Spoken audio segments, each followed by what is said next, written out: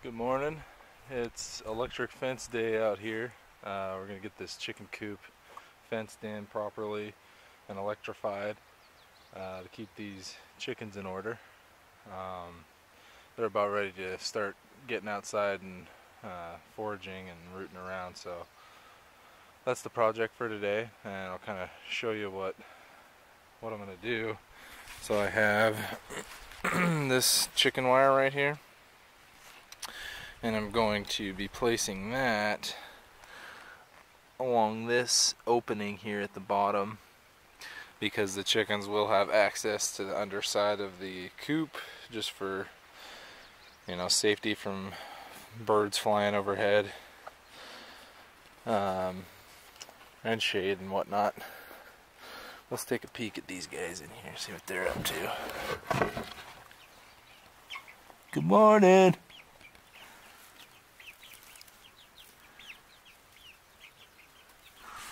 just hanging.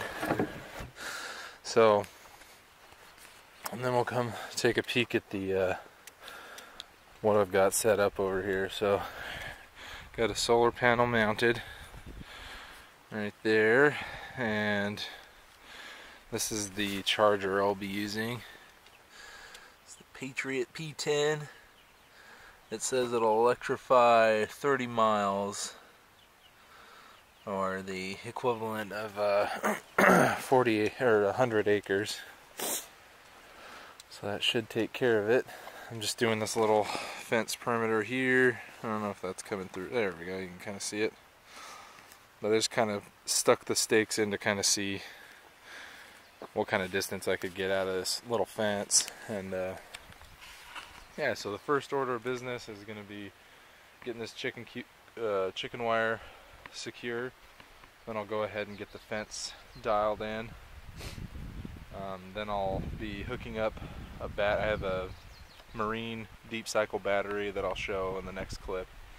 Um, that, that I'm going to be powering the charger with, and then I just got to hook all the the panel and the charger and the battery all up together, get it grounded, and then we'll be in action. Uh, so that's the project for today. So I just got the chicken wire put up down there. Kind of got the fence all straightened up. And uh, I opened this door. It's not, the fence isn't electrified yet, but I, I opened the, oh, there's the first brave one right there. Open the door just to see uh, if they would come out and um, and then I wanted to uh, see if there's any weak spots of the fence yet. White Orpington. I'm not surprised that one's the first one out.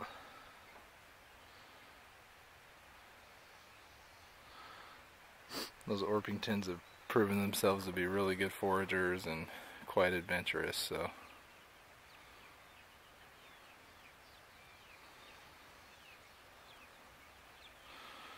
They're coming out. That's what I was hoping for.